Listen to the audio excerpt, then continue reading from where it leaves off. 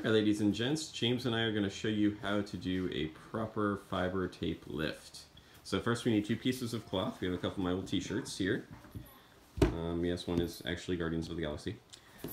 Uh, so we need to uh, do some uh, contact between them. So James, flip them over and give them a nice hard rub. Good. So hopefully the, the friction and the force of contact should be transferring a a decent amount of fibers between the two pieces of fabric. Alright, James, flip them back over. And James, what I want you to do is to take a piece of the lifting tape. This is good forensic lifting tape. It's good for fibers, fingerprints, things like that.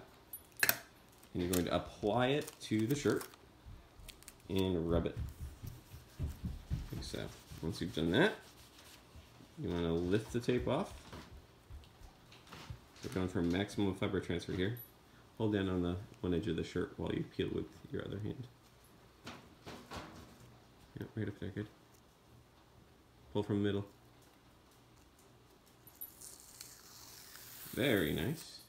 And then we're going to apply the tape, sticky side down to our tape lift card. In this case, one of the pages of our